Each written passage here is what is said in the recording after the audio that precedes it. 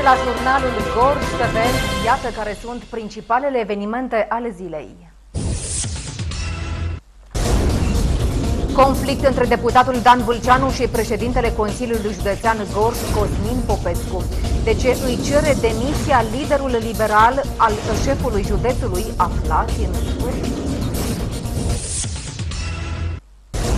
Situație greu de închipuit în cartierul de barcader din Târgu Jiu. Mașinile sunt parcate pe trotuare, iar pietonii circulă pe străzi. Cum s-a ajuns la acest lucru, urmăriți în câteva minute. Manifestări de ambergură în Boiana lui Mihai în cinstea voievodului care a realizat prima unire din istoria României. Ce s-a întâmplat în pasul Vulcan la granița dintre Gorj și Hunedoara vă spunem în câteva minute. Cere demisia președintelui Consiliului Județean Gorj, deputatul liberal de Gorj, Dan Vâlceanu, președintele PNL Gorj, i-a cerut demisia lui Cosmin Popescu, președintele Consiliului Județean Gorj, în urma fondurilor insuficiente care au fost alocate județului nostru. Consiliul Județean Gorj nu a primit niciun leu în urma rectificării bugetare. L-a comparat pe președintele Consiliului Județean Gorj Cosmin Popescu cu prim-ministrul Vasilica Dăncilă. Deputatul Dan Vâlceanu a spus că acesta trebuie să-și ceară scuze primarilor care nu au primit vreun leu la rectificarea bugetară. În caz contrar, Dan Vâlceanu îi cere demisia lui Cosmin Popescu. Ce se întâmplă acum? Rămân fără bani de cofinanțare și practic le pun în pericol inclusiv proiectele europene. Nu ai bani să cofinanțezi, nu faci proiectul. Uh, eu aștept două lucruri în momentul de față.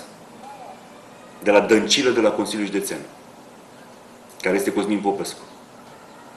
Unu, Să-și ceară scuze public primarilor pe care i-a bagiocorit și a mințit cu șantiere, din, începând din luna august, încep șantierele în județ, sau din iulie, cât zicea. Și doi, că nici o primărie nu va avea probleme. Pe credeți că nu vor avea probleme? Dacă nu-și cere scuze,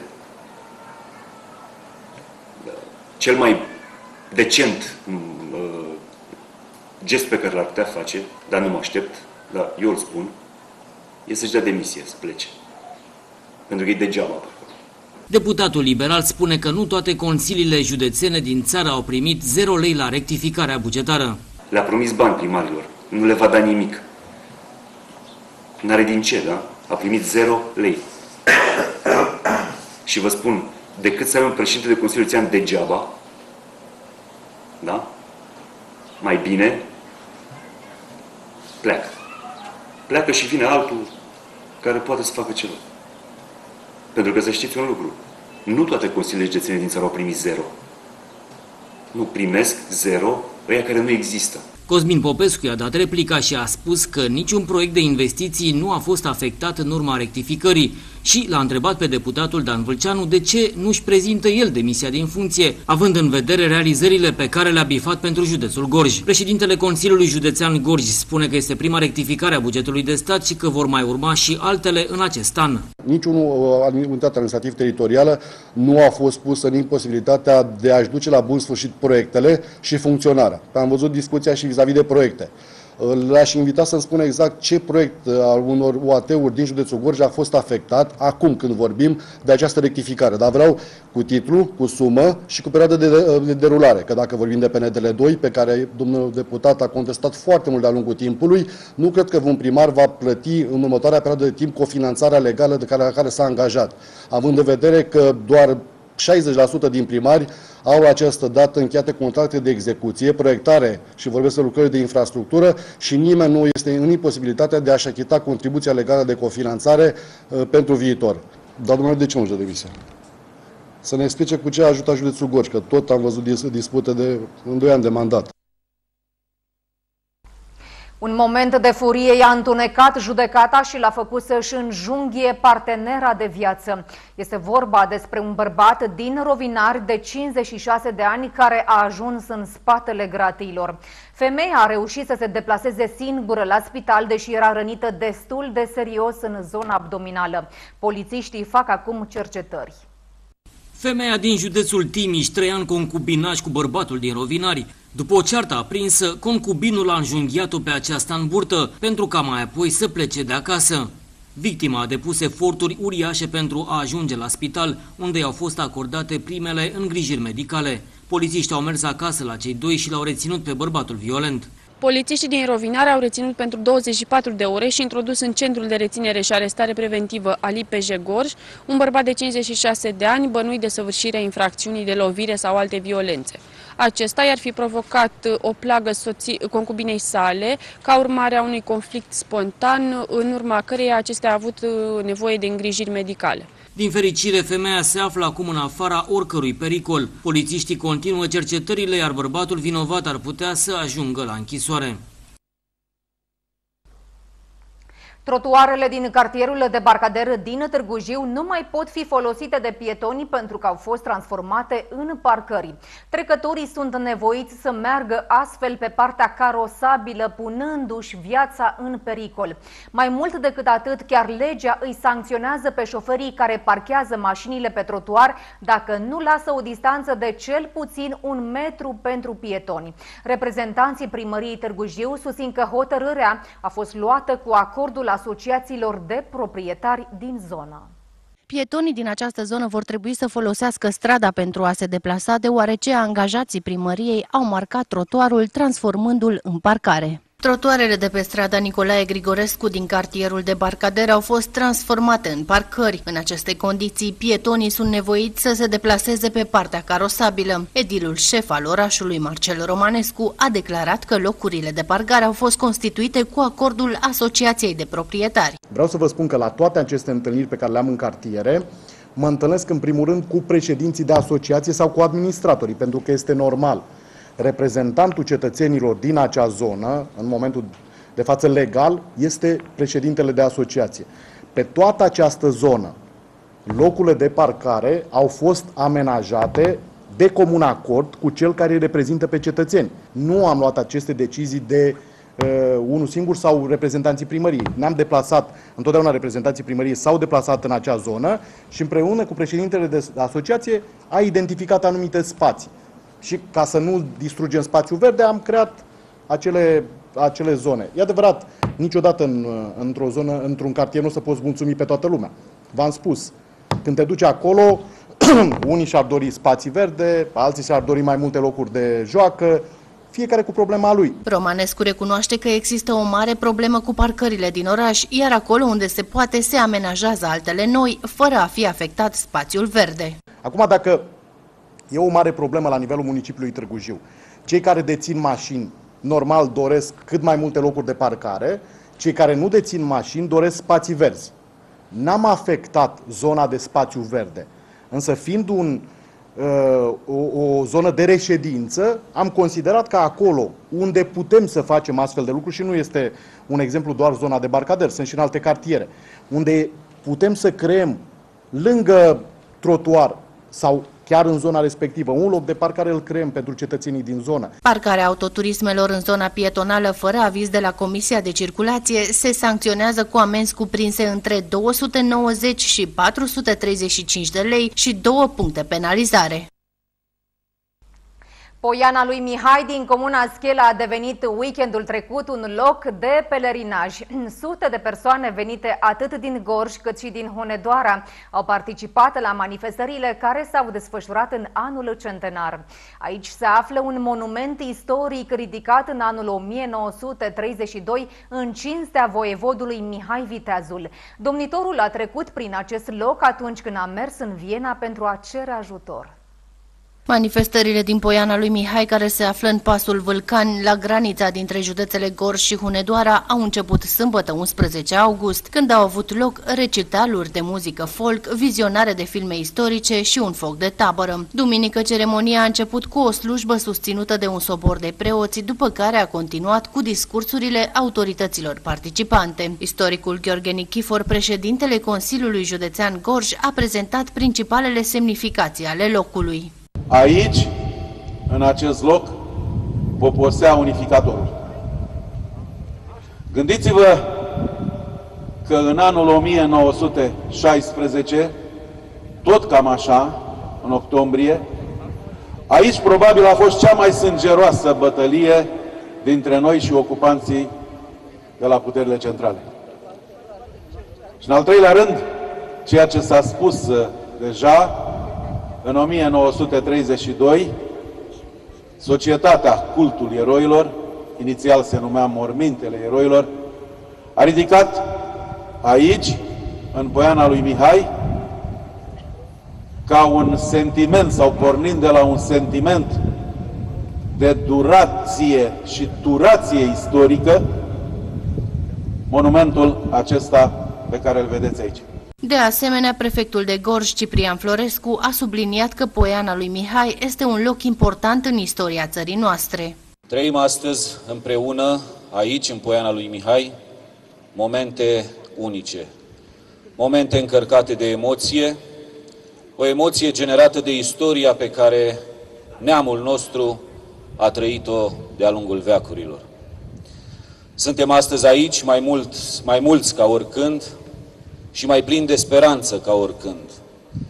Pentru că, plecând de la ideea marelui voievod Mihai Viteazul de a uni provinciile istorice, într-un arc inevitabil peste timp, trecem prin 1918, ajungem în prezent, conștientizând că anul acesta, anul în care România modernă și întreagă împlinește 100 de ani, reprezintă în fapt esența existenței poporului român.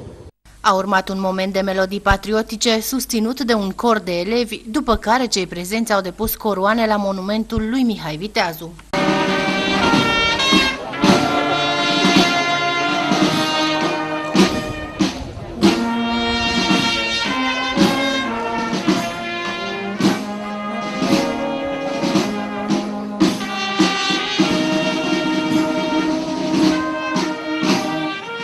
Programul a continuat cu o scenetă prezentată de actorii teatrului dramatic Elvira Godeanu, dar și o reconstituire a evenimentelor din urmă cu peste 400 de ani. Porând spre pasul Hunedoarei și apoi o cotin spre Hațeg, Deva, Beiuș, Oradea, trecând apoi spre țara austriacilor.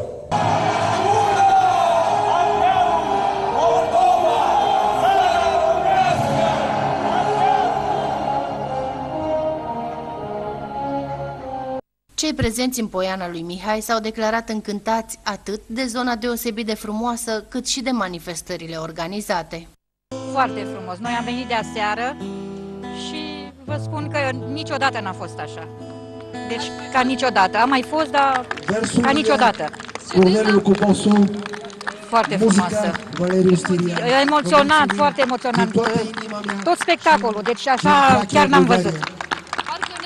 Stefan Gerațiev. Da, da adevărat. Nostru. Adevărat.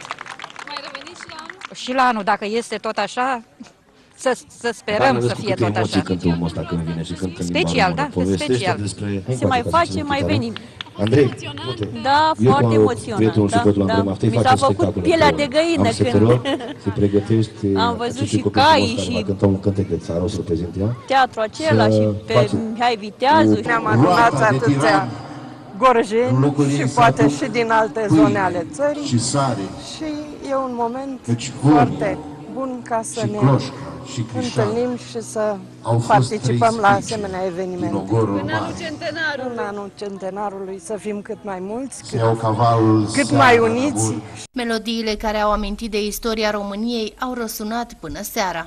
țara mea, scaunul pe care stau, însă munții nu-i pot. Eu te las și poți să iei pâine, sare, apă, foc, munții nu căs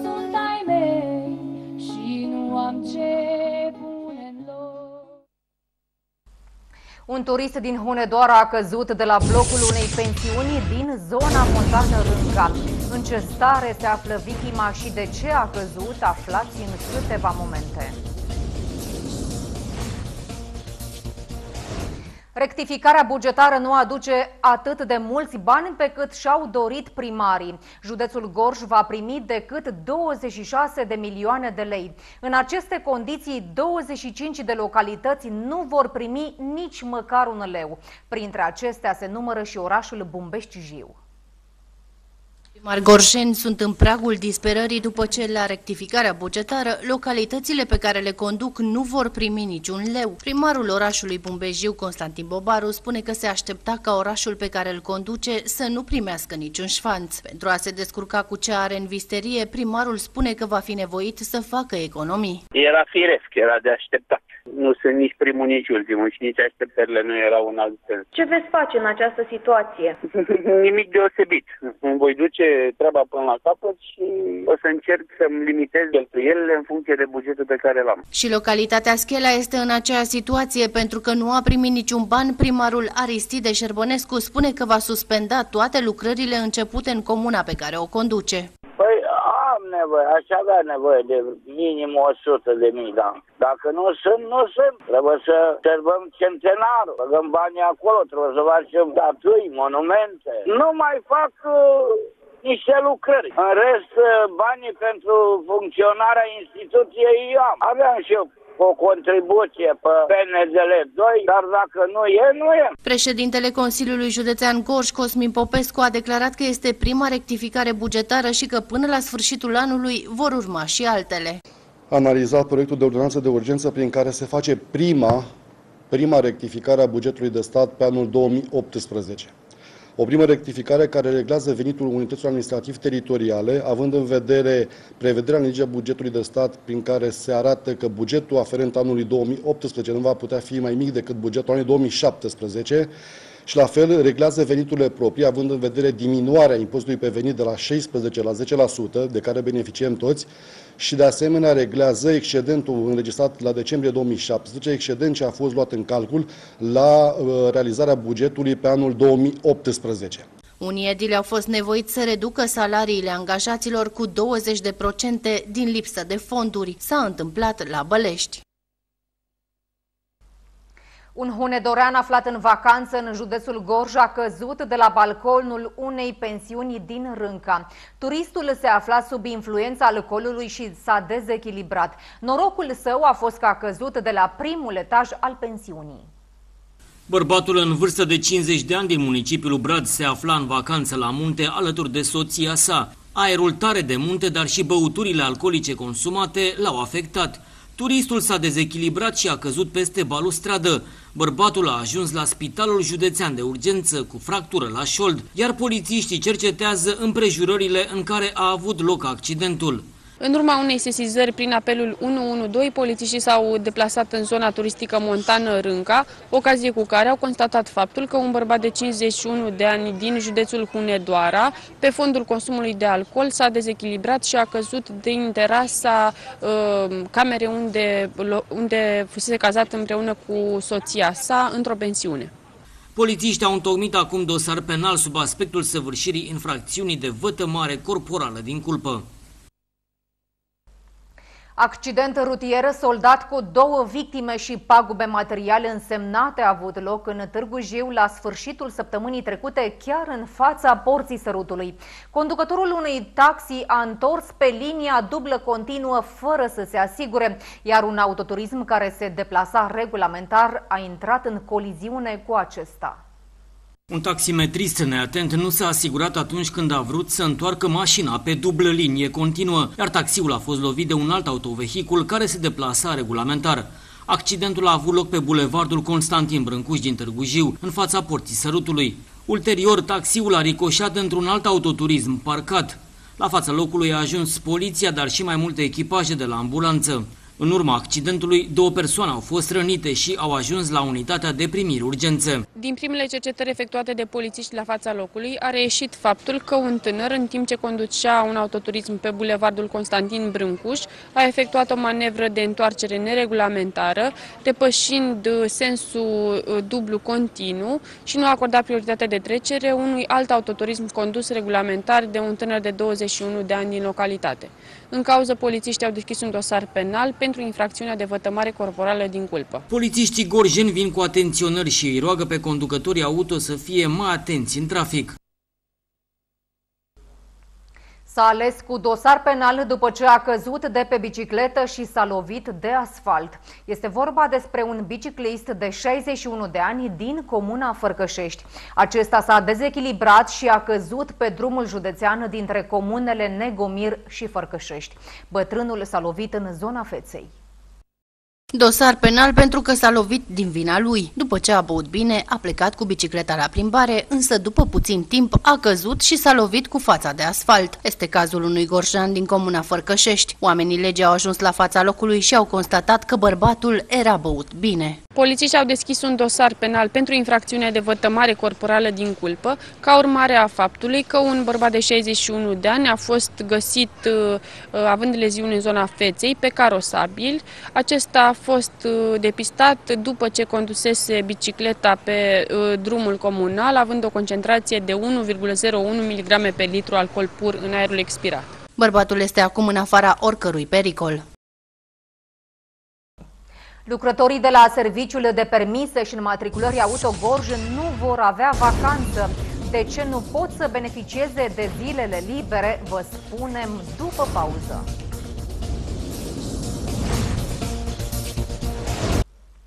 Am revenit la jurnal. Salvamontiștii gorjeni au avut încă un sfârșit de săptămână plin. Aceștia au intervenit în șapte cazuri, dintre care trei s-au soldat cu răni mai grave, constând în fracturi și plăgi deschise. Salvamontiștii au lucrat la foc automat în acest weekend. Aceștia au fost solicitați să intervină la numai puțin de șapte cazuri. Fie că au avut loc accidente sau au avut de recuperat persoane rătăcite în munte, salvamontiștii au fost și de această dată la datorie. Da, e vârf de sezon turistic, a fost un weekend plin, am avut numai puțin de șapte intervenții. Dintre acestea, trei le-am predat serviciilor de ambulanță și de zmur pentru a fi transportate la spital.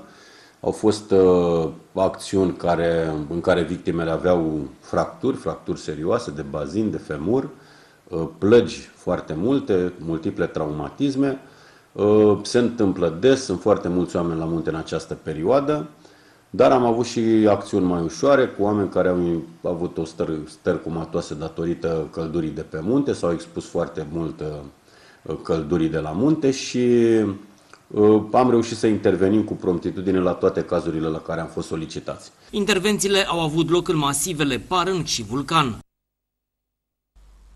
Vești proastă pentru unii bugetari, nu toți vor fi liberi în mini-vacanța de Sfânta Maria. Astfel, lucrătorii de la serviciul de pașapoarte, permise și înmatriculări auto vor avea program de lucru normal. Nici angajații complexului energetic Oltenia nu beneficiază de zile libere pentru că este nevoie de cărbune pentru funcționarea termocentralelor. Lucrătorii de la serviciul pașapoarte permise și înmatriculări auto vor lucra atât joi 16 august cât și vineri 17 august. În prealabil însă cetățenii trebuie să meargă să își plătească taxele. Singura zi liberă pe care o vor avea angajații de la permise și înmatriculări auto va fi cea de adormirea Maicii Domnului pe 15 august. Circularea vehiculă al județului Gorj desfășoară activitatea cu program normal de lucru cu publicul în zilele de 16 și 17 august 2018. Rugămintea noastră este ca persoanele ce sunt programate în aceste zile să prezinte mai înainte la unitățile CEC pentru a-și achita contravaloarea operațiunilor solicitate la ghișeele noastre. De altfel, toți salariații complexului energetic Oltenia nu vor beneficia de zile libere. Conducerea companiei a decis ca angajații să nu beneficieze de acestea. Guvernul a decis ca zilele de 16 și 17 august 2018 să fie zile libere pentru salariații din sectorul public, care vor beneficia de o mini-vacanță de 5 zile. A 17-a ediție a Festivalului Național de Folk Poarta Sărutului s-a încheiat duminică seara. Timp de trei zile, iubitorii de muzică folk s-au putut delecta cu melodiile interpretate de cei mai renumiți artiști. Marele premiu și trofeul Festivalului Național de Folk Poarta Sărutului a plecat la Arad, fiind câștigat de grupul Clipa. Premiul 2 a fost acordat târgujianului Radu Filip Cârciumaru, iar premiul 3 i-a revenit lui Mario Niculescu, în vârstă de 12 ani din Târgu Jiu. Marele premiu și trofeul festivalului a mers la Arad, la grupul Clipa.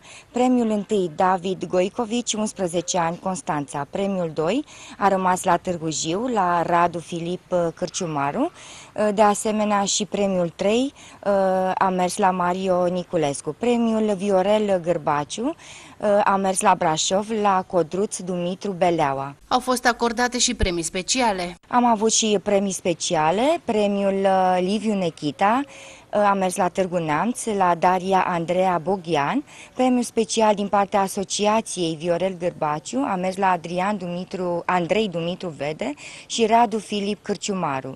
Uh, premiul special România Perpetuă a mers la Delia Porumb din Buzău. Premiul special uh, Stefan Geraxiev uh, a mers la Ilinca Ioana Pleș din Sighetul Marmației. Recitalurile din ultima seară au fost susținute de Mircea Baniciu, Mircea Vintilă, Dan Vană și Ovidiu Mihăescu. Seara s-a încheiat în aplauzele publicului.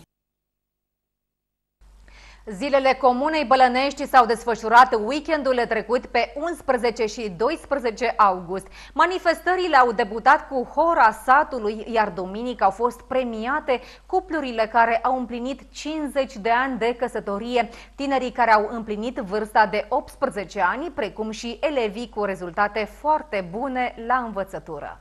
Primăria și Consiliul Local al Comunei Bălănești întâmpină pentru a cincea oară. Suntem așadar la cea de-a cincea ediție a acestei uh, sărbători. Vă spunem bun venit, bine ați venit cu toții și ne bucurăm că, iată, în această zi de sărbătoare sunteți alături de noi, de la mic la mare.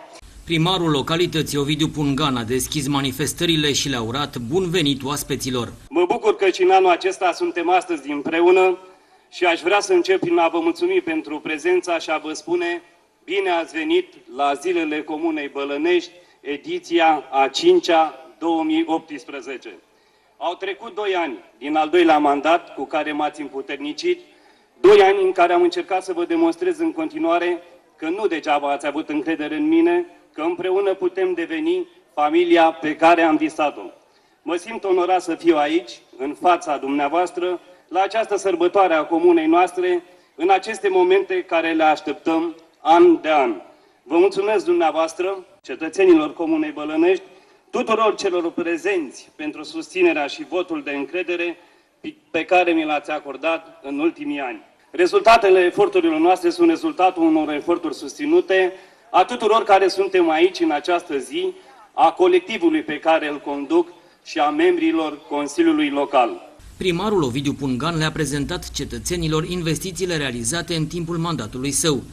Spuneam că în anii precedenți că deja suntem o comună situată la 7 km reședință de județ, starea comunei Bălănești lăsa de dorit. În ciuda tuturor obstacolelor pe care le-am întâmpinat, am făcut ca treaba să meargă, lucrurile să adeverească în comuna noastră, să capete o nouă imagine. Să detaliez pe scurt investițiile din ultimii doi ani care au completat șirul lucrărilor de modernizare făcute în comuna noastră Printre invitați s-a numărat prefectul județului Gorj, Ciprian Florescu, care le-a transmis celor prezenți că sărbătoarea este una importantă pentru că în acest an se împlinește un secol de la Marea Unire de la 1918. 2018 reprezintă pentru fiecare dintre noi, cei care simțim și trăim românește, anul în care România mare, România întreagă, împlinește 100 de ani. Tot anul 2018 este marcat de evenimente extrem de importante dedicate acestui uh, centenar și printre ele, iată, se numără și organizarea celei de-a cincea ediții a Zilelor Comunei Bălănești. Dar ca să nu părăsesc registru și să păstrăm puțin nuanța acestor sărbători din 2018, vreau să vă spun doar atât. Este important pentru fiecare dintre noi să continuăm să simțim românește, este important pentru fiecare dintre noi să știm și să înțelegem ce înseamnă să fim uniți, pentru că poporul român, de-a lungul istoriei sale milenare, a avut parte de multe încercări. A urmat premierea cuplurilor longevive care au atins o jumătate de secol de căsnicie. În zilele noastre este cu adevărat o performanță să ai 50 de ani de căsătorie, să vă dea Dumnezeu viață lungă și uh, să vă înțelegeți foarte bine în continuare.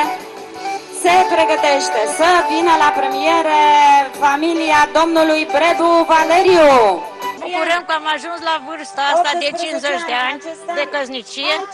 Mulțumim lui Dumnezeu că martorul vieții noastre este la vârsta asta cu noi și altceva ne dorim să fim bine așa cât cum suntem acum, să ne ducem pe picioare, să nu se întâmple altceva. În rest, mulțumim. Care este secretul unei căsnicii fericite și îndelungate? Comunicare, răbdare și compromis. De asemenea, primăria Bălănești a premiat pe tinerii care au împlinit vârsta de 18 ani, dar și pe elevii care au obținut rezultate foarte bune la învățătură. Andreea Bianca, o altă domnișoară frumoasă, sărbătorită astăzi, Pârvan Roxana Maria, Popescu Cristina Mihaela, este? La mulți ani, domnișoară! Succese multe să ai! Localnicii din Bălănești au participat în număr mare la zilele comunei și s-au arătat încântați de evenimentele organizate. Ne simțim foarte bine, chiar suntem uh, surprinși de zilele comunei Bălănești. Avem un primar deosebit și ne simțim bine, cu toții.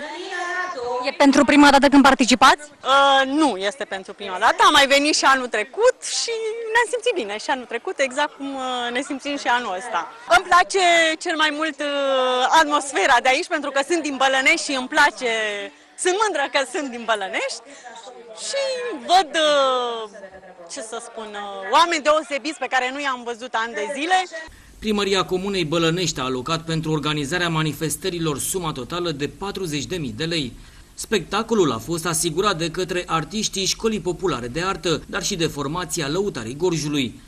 Capul de afiș al manifestărilor a fost concertul susținut de Doinița și Ionuț Dolănescu.